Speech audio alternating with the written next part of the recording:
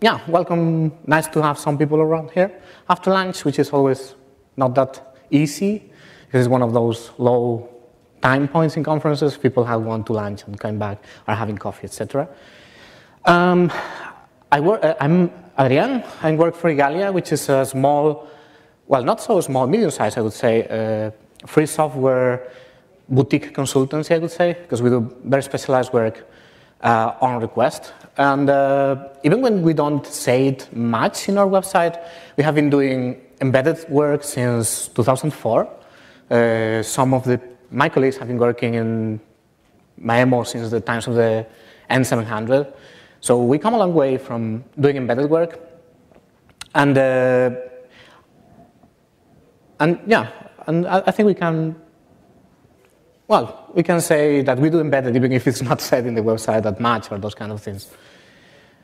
Um, today I'm going to talk uh, to you about a small project, well, small, not so small project uh, that we did uh, in collaboration with uh, MIPS Technologies just right before they were acquired by Imagination uh, by the end of 2013, uh, sorry, end of 2012, beginning of 2013. Um, and the challenge that uh, we were faced with was to make a WebKit, Qt WebKit uh, browser uh, work faster and render faster in an embedded device uh, using a quite limited embedded platform in the sense that it didn't have much memory. Uh, it did have a GPU, but it was not accessible to the main Linux system that was running the applications or certain applications. And it was uh, not super fast, MIPS 70K, 74K, but still, well, had to be done somehow. And it's not that, that, that small. Uh, browsers used to run in the past in smaller things. So of course, uh, there was some browser application already working. The challenge was to make it not so slow. Um, the neat thing, and this is something I was commenting with the MIPS guys over there, um, of the MIPS 70K, it's, uh, it's like a classic MIPS processor, which for me personally has a very special place in my heart. It was the first processors I have learned to program in assembler. Uh, so I just signed up for this project. Yeah, I want to do it. Looks fun. And challenging also. And uh, those ones come with an FPU an M, a memory management unit and a DSP unit, I, and I make air quotes because I'm going to explain that it's not exactly a DSP, the digital signal processor. And uh, it's neat that it comes with all this because uh, the MIPS CPUs are designed in such a way that you can actually provide a very basic core without FPU, for example, and then if you want, you can attach your own co-processors. A very good example is the PlayStation 1, which had a MIPS 3000A without FPU, but then Sony had their coprocessor to make uh, triangle operations for the graphics. So it was kind of funny thing. Um, and I was making air quotes with the DSP. That's not really a DSP in those uh, processors. What is there is a series of instructions that work on the pre-existing uh, processor registers and work in a single instruction multiple data fashion, which is quite suitable for signal processing in general. That's that I guess the name comes from, it DSP. And uh, of course, including signal processing that goes with audio and video, etc. And this came up very handy to actually reach the goals we had. So, can we use this for, to improve the performance? Yes, of course we can, and we did. Um, and with every performance improvement project, what one has to do is always measure things a lot. Because if you don't have reference numbers, you cannot tell uh, we have improved by 10%, 5%, or anything. Uh, and it's sometimes not easy to do those measurements. So, um, yeah, with that in mind, uh, with, we, we, first have to think how to measure things in this particular platform, uh, and then decide what to optimize and where. Regarding what to optimize, uh, there was, of course, a bottleneck for video and audio, which uh, one of my colleagues has been working on improving. And then the, we identified that one of the main issues was the rendering pipeline in the software QPainter. So that was the target of the, of the improvements. And it was good that it was that way because being in Qt, that meant that uh, we could also not just improve WebKit, but we could improve Qt uh, and GStreamer for audio, audio, and video because uh, Qt WebKit uses, well, used to use GStreamer. Um, so improving GStreamer, how GStreamer does the decoding, and how Qt uh, does the drawing, we can not only improve this particular case of a browser using Qt WebKit, but any application that is running in the same, um, same range of devices that uses Qt, which is great. And as we always engineers like to do, if we make it more generic, the better. So also, those things are good candidates for single instruction, multiple data code, as I was commenting. So it was a, a very good fit to use uh, this uh, digital signal processor instructions from those um, processors to optimize this code. Uh, in this particular small platform we had to work with, we had some limitations. And the main ones were regarding tooling support. Uh, the problem with certain embedded platforms is that even when they may be running Linux or some well-known system, uh, you may not have the tools you're used to work with. In this case, we couldn't run GDB directly in the board. There was no Valgrind.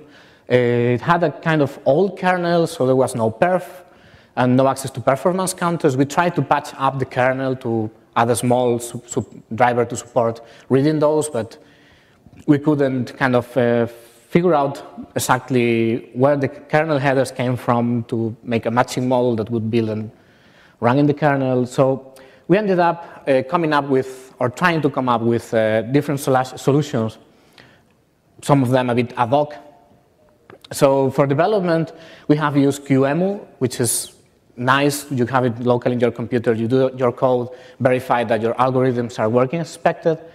And uh, then with the GDB server, we could actually run code on the machine and debug it remotely. And that was very, very useful. And uh, we patched Google Perf tools to be able to make profiling. There was a half-working patch uh, a, attached to a bug report that we could get running after some changes. And uh, then for measuring rendering times, uh, we used the process CPU time real-time clock from POSIX, which Linux supports since 2632, I think. Um, and it's very nice because it's not just that you're measuring wall clock time, you're measuring the CPU time slices used by your particular process. So it's much more accurate uh, to do this kind of performance measurements, not as good as using performance counters, which those processors support, but still quite good. And uh, we could get quite accurate um, measurements. quite accurate, but still, there was a couple of issues we had. Oh, another one uh, is that GNU time is usually forgotten. People tend to use just time without typing slash user slash bin slash time. And you get the time that comes with your shell, which is built in and usually lacks some, lacks some features. And one very nice feature that GNU time has is measuring the, um, gives you um, the, the, count of page faults that your code made, which is uh, especially when dealing with big amounts of data, like video or images, it can make a difference if you try to optimize the number of page faults that uh, your code generates or not. So this was very useful for that.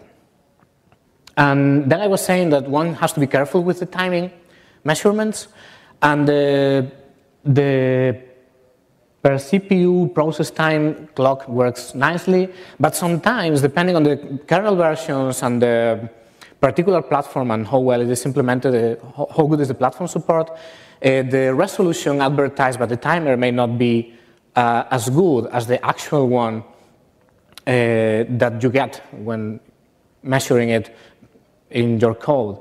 So we had to go some extra hoops to measure the, the latency, sorry, the difference of uh, theoretical and actual resolution, and, this, and sometimes retry tests if some, when the clock was not acting perfectly.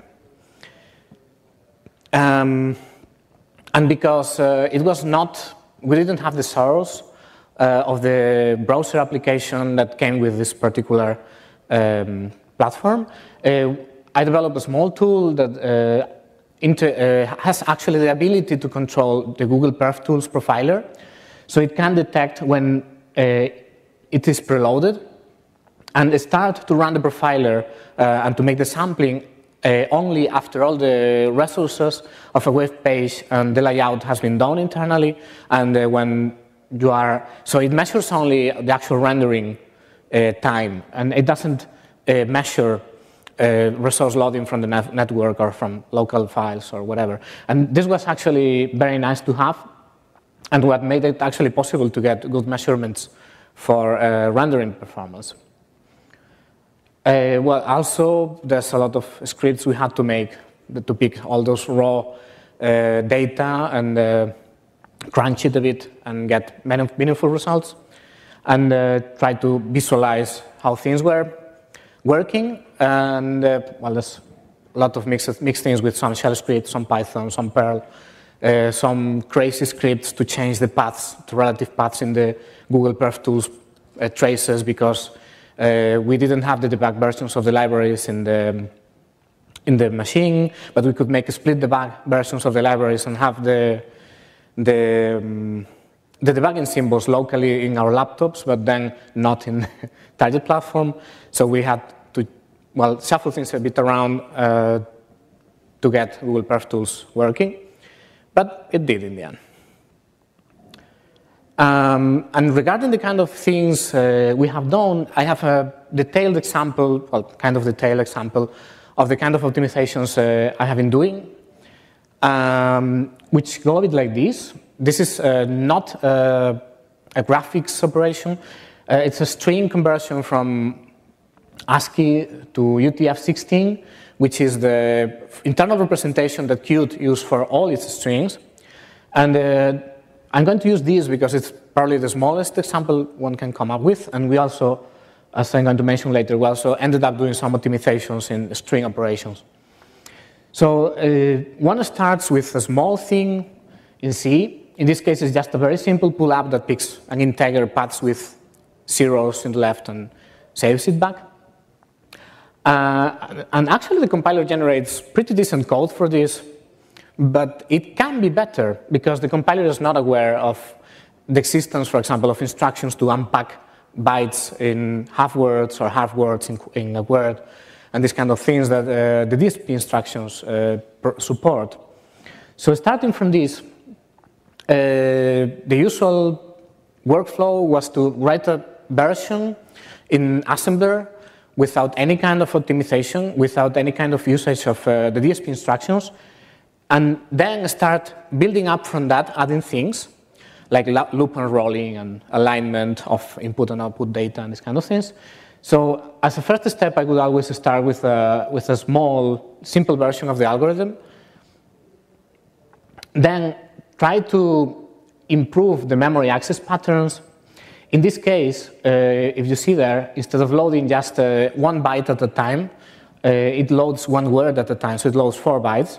And actually, in, in most of the platforms, uh, reading four bytes is faster than reading a byte because when you read a byte, you read a whole word, then you dis uh, discard three bytes. But this way, you have the four bytes already loaded and you can shuffle them around, like in this version here. You can shuffle them around and shuffling the, byte, the, the, bytes around to put them in the proper places and then store them is actually faster than the code that the compiler generates that just loads a byte and stores a short. Because the memory is very devilish and it's way faster than doing all this here in the middle. So the next step would be and now that I have this, can I reduce further the number of instructions? Can I reorder them in such a way that uh, the pipeline of the processor stalls less? Or can I use some of those uh, single instruction, multiple data operations? And usually the answer would be, of course, yes. You can just reduce 10 instructions, for example, that mingle bits around and put them in two single instructions that unpack uh, bytes in half words so goal achieved. No, not really. Because now that we don't have all the 10 instructions then in the middle, what is going to happen is that the, um, the code, the, the, data dependencies in the code, this value loaded here that then is used here, uh, actually the, the, processor is going to stop there and add some bubbles, some empty spaces in the pipeline because it's waiting for the memory instruction to actually fetch the data. So the next step is to try to avoid these kind of cases. And the most common way of doing it is uh, unrolling the loop manually. So you can, uh, for example, launch four uh, load instructions in parallel to four, uh, to four different registers. And then start, um, after, after the fourth load instruction, you start moving the bytes around and doing your actual processing of the data because the instructions added in the middle uh, fill up the gaps in the pipeline. I don't, actually, I don't actually have a diagram of that, I'm really sorry. Uh, but at least for this case, uh, it was needed to at least unroll the loop four times and repeat the body of the loop four times to avoid uh, the data dependencies, be, uh, making the pipeline to stall the execution in the processor. And uh, then there's another small thing that is, it may not be immediately recognized, but if I'm loading a word at a time, so that's four bytes, in something that is a string, that is byte by byte, it may happen that my function is going to get passed an address that is not divisible by four, which is not word aligned, and that is going to cause a trap. And either abort the execution, or if the kernel has support for it, the kernel is going to handle the trap and give the data. But that's horribly, horribly, horribly slow. It's one of the slowest things that can, that can happen. So if we do not take care of making sure that this address there is aligned to a word boundary, we're going to do even worse than the compiler. And that's also one of the things uh, that was taken care about. So in most of the cases, uh, we would end up with version, four versions of the algorithm, depending on the different alignments, or some prefixes prefix code which would ensure that the data would be aligned and then start with the uh, unrolled loop that works on the aligned data. And that's why, once measuring, I have this here, which is different versions of this very same algorithm using different, uh, different uh, instructions. There's the C1, that's the simple one, unrolled eight times, that loads byte by byte and stores half word by half word. Uh, then I have the last version that I have there with unrolled four times and using the DSP instructions and also unrolled eight times. And it's very interesting to see that in the, with a small input, actually the C version is as good as the assembler version. And this is because the prefix code used to ensure the alignment or to set up the loop uh, is, uh, is taking a toll and not making it be faster, because that's, that's some part that is always executed regardless of the input data length. And the bigger gains, of course, are appreciated after uh, a certain size of the strings. So even funnier is that the amount of unrolling uh, that uh, also changes how the algorithm performs. So in the, in the version of the algorithm that is unrolled eight times, which is the brown line, you can see that it, go, it goes making like a saw uh, shape. And, and that's because it goes better when the input is uh, multiples of eight, like eight, eight character strings or 16. But for 12, it does, it does worse because it uh, rever reverts to using the simple loop that is not unrolled. So actually, uh, what this particular function ended up in the final version optimized uh, is a hybrid version that uses uh, the simple the simple byte-by-byte algorithm for small strings that are less than 16 character characters, or 20, I think it was. And then from there on, it uses the version that uses uh, eight times unrolled reading word by word. And this is a pattern that happened in almost every single algorithm we have been optimizing. Most of them, uh, we would need to do different versions depending on the input size of the input size and, the, and also taking care of proper alignment of the, both the source and the destinations. Uh, then going already, already into graphics operations, uh, have also an example for alpha blending. And this is mostly to see how the, oops, sorry, to see how the alignment affects the different versions of the algorithms. Uh, as you can see, the the yeah the, the hybrid version that uses different unrolling steps depending on the input uh, usually works better as i was saying and and in some cases unrolling more does uh, does worse for those small sizes and this is another funny case. Uh, I'm not stopping a lot on the particular code because it's not that relevant for each one of the operations. Um, and I'm talking more about the string functions because the most weird or difficult cases ended up being in those. The graphics operations were more or less, well, they, they took their time, but more, they were more or less doable and didn't pose a very big problem to, to optimize. Uh, this is a particular example that I want to mention because this is a Unicode UTF-16 case insensitive comparison. And this was about the trickiest algorithm because uh, in Unicode you have, you have to do case folding, which is a very quite expensive operation. And it's not easy at all to make in assembler, honestly. And uh, Qt uses, uses this lib ICU, libicu, to do Unicode stuff, uh, which is already quite good doing it. Uh, so actually, the implementation for this particular algorithm uh, was passed an extra function pointer, and it would call it from assembler back into C++ to do the case folding, and then do the rest in assembler, because Unicode is very difficult. And I'm going to quote uh, one of the creators of the Lua language, uh, because so every now and then people suggest in the Lua mailing list, well, we should, you should add some Unicode support. And the answer was, well, the problem with Unicode is not that it's bad, is that the Unicode is like general relativity theory. The more you think you understand it, the less you understand it. so actually, I, uh, I tried to make case folding in assembler, spent weeks on it, and in the end decided to not do it. And still, uh, it was possible to get uh, measurable improvement in doing the rest of the comparisons um, using assembler code. Um, yeah, so it was, it, it was very interesting.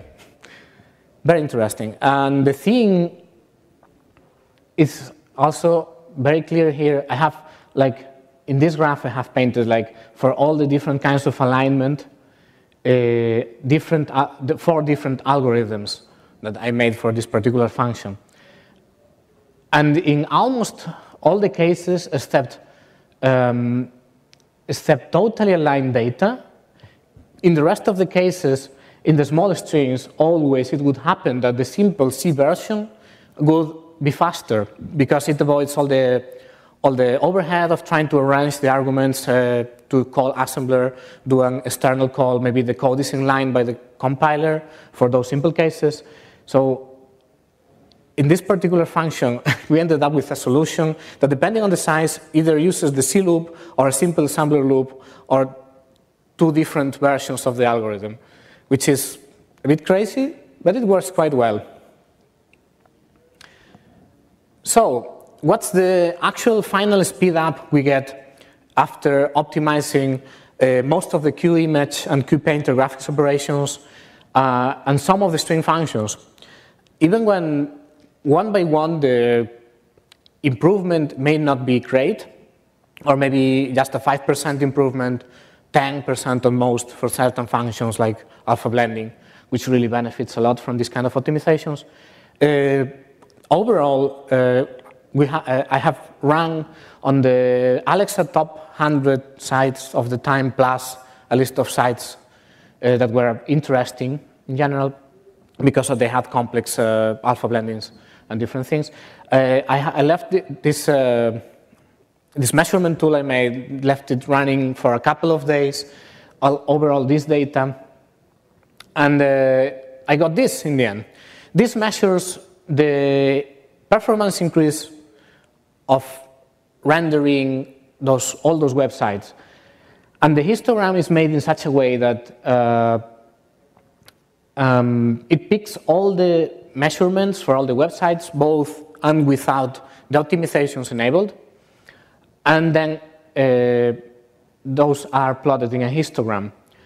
Uh, as I was saying earlier, the clock, the clock issue was a bit tricky that made it have some really odd measurements there that I, haven't discard, I have not discarded in this particular version of the graph. So you actually see that one has to be careful with those kind of outliers that then if you go and check manually for the particular websites that, that uh, failed with those really bad performance uh, improvements, or not even improvements, but even going worse, if you do it manually and try it several times, then it happens that it, it was actually not bad.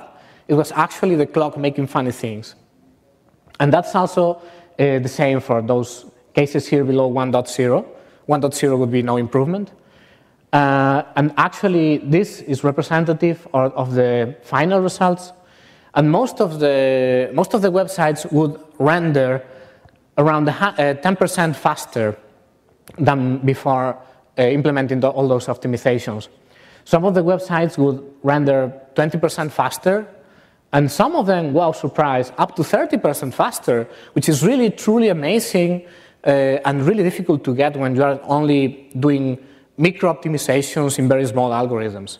So in the end, uh, because all those graphics functions are used by Qt all along, and uh, that's quite a lot, quite a bit of stream processing also in WebKit for certain things like uh, applying CSS properties, for example, it uses dictionaries with strings, etc.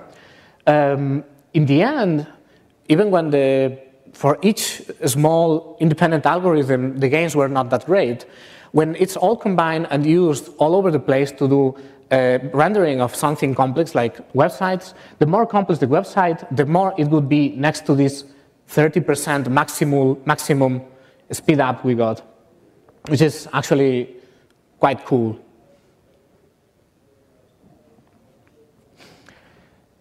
So um, I haven't, I have not been talking much about this, uh, this part of optimizing the Orc uh, library with uh, MIPS DSP instructions. This Orc library, if you don't know it, is a small library that uh, some of the GStreamer codecs and other, especially media codecs, use. Uh, what it does is it defines a generic kind of macro assembler that you can use to define uh, single instruction multiple data operations in your data, which is something that a lot of video and audio codecs can use. And uh, internally, it has a just-in-time code generator that tries to optimize for your particular data and the kind of operations you're doing on it. It tries to optimize uh, the machine code it generates. And um, one of my colleagues was working in uh, backend, in, in, augmenting the MIPS backend to use those uh, single instruction multiple data operations. Um, I don't have numbers here, but uh, I recall perfectly that uh, the increase of performance went from not being able to watch an MPEG 4 video to be able to watch an MPEG 4 video at 20 frames per second, which is not bad at all, taking into, into account uh, how modest the platform was. So that was actually a very nice thing to do. Uh, so we did, uh, my colleague did that. Uh, then I was doing all those image operations like uh, blend over, surface over, those, those image composition operations for images. This is a funny one, this, this case. It, there's a lot of JPEG files on internet, as we know, almost all the images. And it happens to be that the libjpeg library decodes then in 24-bit per pixel packed uh, data. So then Qt has to unpack those 24-bit per pixel data into 32 bits per pixel data. And that is, that is an operation that is done a lot, a lot all over the place when displaying web pages. So that was also one of the extra uh, non-QImage or non-QPainter operations that was optimized. And, which, uh, and actually this one was, uh, along, with, uh, along with alpha blending, was the second one where we got, we got most of the increase of speed. And I was saying alpha premultiplication, Qt internally when you are composing images and when you're painting uses always premultiply data, which is faster to work with blending. And the, the string functions. So quite good. Then also as part of the project was the upstreaming or it was more of a thing that we suggested because we believe that one has to work upstream with almost everything or everything if possible. So uh, we were also trying at the same time to send all, all those patches upstream. And uh, I, I could say right now this is the status, but it has been like this for a while. The liborc backend has been upstream for several releases already. So if you are doing um, media decoding with GStreamer in a MIPS platform, probably you are benefiting from this code work already. If not, check it and pick one of the latest liborc versions. Uh, the Qt part was done initially in Qt 4.8 because this platform was using Qt embedded 4.8. Uh, so I, I actually did the patches first for Qt 4.8, but at the time the Qt developers were really in the transition to support Qt 5 and doing the first release, so they were not very interested on reviewing patches from Qt 4.8. So they were kind of suggesting, well, if you could maybe forward port them to Qt 5. So I did. And that ended up in Qt 5.2. It took a lot of time to land those patches because uh, I took care of this forward porting and trying to get the patches landed in my free time, but it's there now. Um, and when I say most of the patches are in Qt, uh, Qt 5.2, that's only only one small piece missing, and is the piece that checks at runtime in which processor you are running and enables the optimizations only if your processor supports the new instructions. So now, unless you apply the missing patch manually, it's in the Qt code review in Gerrit, unless you apply this one, you have to either compile all of Qt with support uh, for MIPS 74Kf processors or, or better, or you don't have the optimizations. But with uh, this patch that I hope to have at some point soonish also landed, then you can compile most of Qt for generic MIPS 32-bit, compile the few files that have the code for the optimizations with uh, MIPS 74Kf support, and then at runtime Qt will choose which optimizations to use, and we'll try to enable as many as possible. And because afterwards the project finished, the customer was happy, I already had been in my free time doing the forward port to Qt 5. The patches for Qt 4.8 have been bit rotting a bit. So at some point, I cannot really tell. I may also try to get them back in 4.8 upstream, but there isn't much interest and people are running away from Qt 4 nowadays. So I don't know if it's going to ever happen, actually. But well, it's, uh, it's, uh, the patches are there still, some version of the patches in Gerrit. So you may have some luck trying to apply them to one of the last 4.8 releases, but I cannot guarantee they would work. Um, and that's about all. Uh, the conclusion, conclusion, I think most important one is um, even when nowadays embedded platforms are getting more and more powerful, and as uh, Tim was saying the other day in one of the keynotes, embedded, a phone is not embedded anymore. Well, that's true, because it's crazy powerful how much we are putting in phones, nowadays. There's still a lot of applications which are using smaller machines that may benefit either removing things, like uh, the people from uh, the fastboot talks has been telling that you if you take things away, then of course everything goes faster. Less code is always faster. But when you cannot reduce code, like for example, one doesn't want to ship a browser that doesn't understand CSS, or one doesn't want to ship a browser that doesn't understand uh, PNG images. So then, in that case, when you don't have the option of taking more things out, you still have the option of running less code by optimizing the code you uh, write. And that's still, I believe that's still um, a market and, and the need for this kind of, uh, this kind of projects. And anyway, who doesn't like uh, using less resources, even if it's a very powerful platform, if we are optimizing and getting less code executed in the end, it's also less power consumption, which is also a hot topic nowadays.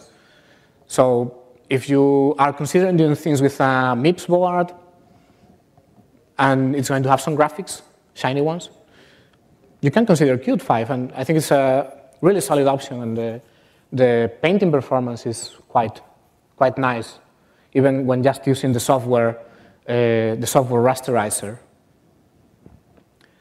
So, any questions? What version of GStreamer were you using? Which version of GStreamer uh, we were using? This was using GStreamer uh, 0.10 because it was uh, 1.0 was just out of the door at the time. Uh, so it was for 0.10, but uh, because the optimizations were done, done in liborc that GStreamer 1.0 uses also, uh, GStreamer 1.0 would also benefit from the, the improvements. The Orc optimizations for WebKit, so as I, I might not have understood it correctly, you made optimizations to work to use the MIPS platform, or you made optimizations to WebKit to use liborc, or both? Okay, uh, yeah, I didn't mention that. It's not clear. He's right. Uh, he's asking if we made optimizations in WebKit so WebKit uses liborc, or we made the optimizations in liborc because WebKit already uses it. Is the second case.